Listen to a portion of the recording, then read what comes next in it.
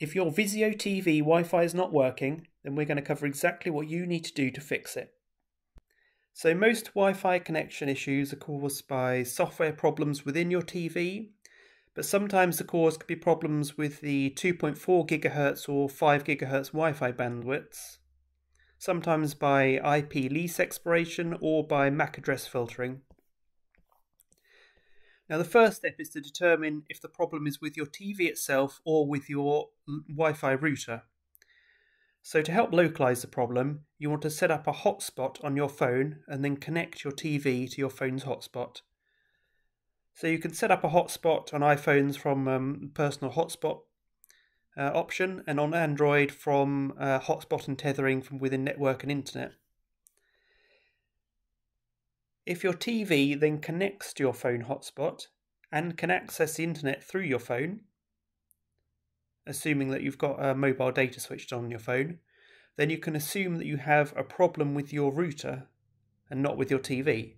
If your TV will not connect to your phone hotspot, then you either have a software issue with your TV or a hardware problem with the Wi Fi card in your TV. So, depending on uh, the results of this test, you can then follow the router troubleshooting steps or the TV troubleshooting steps. We'll start by covering the router troubleshooting steps, and if you want to jump straight to the TV troubleshooting steps, then there'll be a, a timestamp below. So, to fix router Wi Fi problems, first of all, just make sure that your Wi Fi password is correct. Um, it seems a pretty simple step, but just try, maybe just try um, disconnecting Wi Fi on your phone and then reconnecting using what you think is the password and making sure that your phone can definitely um, connect to your Wi Fi using that password. You also want to make sure that your router is not set up for MAC address filtering. So, if you or, or someone else in your family has switched this on at the router level, then your TV will be able to connect to the router, but it won't be allowed to connect to the internet through the router. So if you're seeing a TV that is connecting to the router but can't get internet, then uh, check for MAC address filtering. So on your, your phone or on your laptop, you'll need to go to the admin IP address for your router. That'll be on a label somewhere on the router itself. Uh, it's usually something like 192.168.1.1. You'll have to log into your router, and the, the login details should again be on a sticker on the router itself and then you'll go to something like advanced or expert settings and find MAC filtering and make sure it's switched off. So if that's off, then just um, check that you don't have any, any Wi-Fi interference or too many devices uh, trying to connect to your router. So trying to find if there's um, interference can be a bit tricky.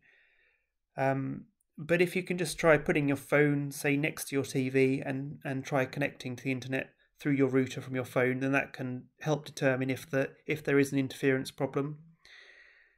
And if you've got a lot of devices connected to your router, then just try switching a few of them off. Now, a pretty common issue is, um, particularly with older TVs, is that they cannot connect to the 5 gigahertz Wi Fi channel that modern routers use and they can only connect on 2.4 gigahertz instead. So you can check the user manual for your specific TV to see, which bandwidths it supports.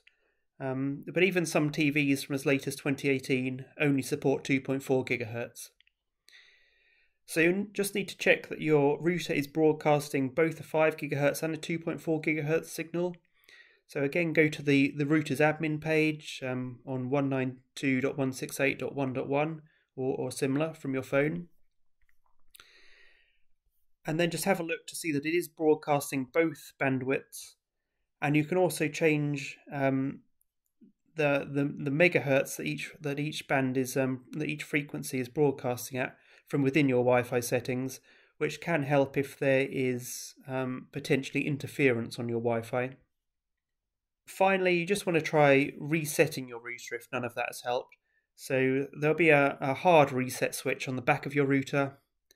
Just put a paperclip or a pen into that switch and hold it for at least 10 seconds and reset your router back to factory settings and then try your TV again. So now we'll move on to Wi-Fi problems with the TV itself. So this is assuming that the router is fine. So first of all, just try power cycling your TV.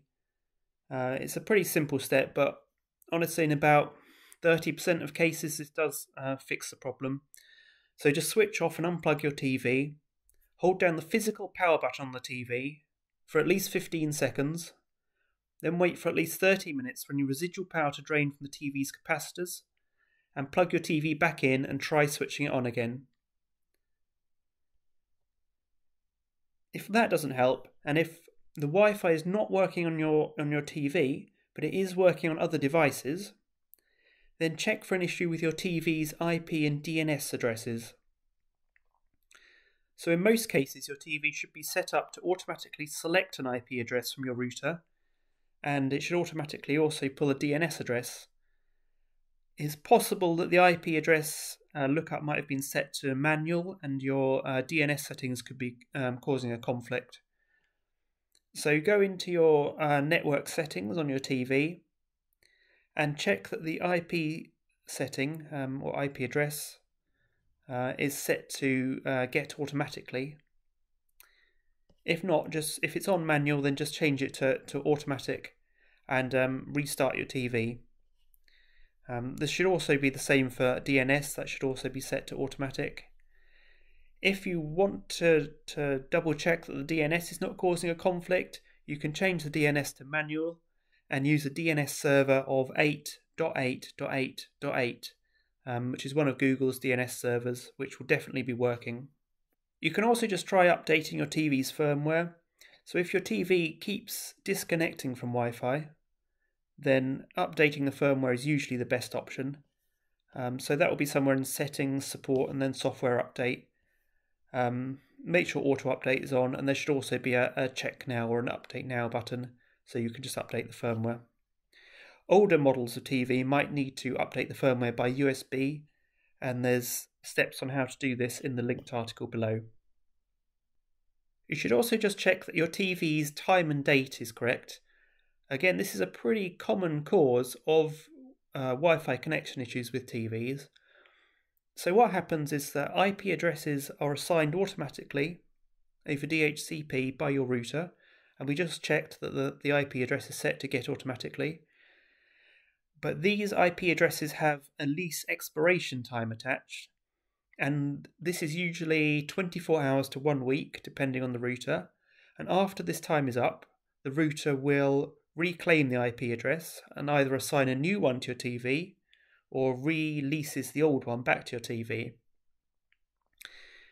Now, if your TV's time and date are wrong, and so they're in conflict with the, the time and date that's on your router, which should be correct and which should pull the time and date uh, over your internet network, then that can cause the IP address to expire at the moment of assigning it, and then that prevents connection between your TV and router because of this conflict.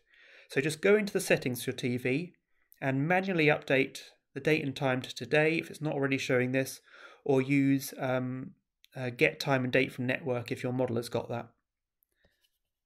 And if you're still struggling, then just try factory resetting your TV. Um, so that will usually be in something like uh, general and privacy or support, and then reset. Some TVs will need a pin, which you can see here, and others won't. But if your Wi Fi is still not working and you've localized the problem to your TV itself, then it's almost certainly a hardware issue, um, so something wrong with the Wi-Fi card. So if you can live with it, then just um, using an Ethernet cable is the simplest way to get around it. If if none of the other TV fixes have worked, that you're that you've got a failed Wi-Fi module within the TV, they're um, uh, pretty small. They just uh, plug into the into the main board itself, um, and they're very easy to replace. They shouldn't cost much to get a replacement off eBay. Um, and you can have a look at some steps on how to replace that in the linked article below.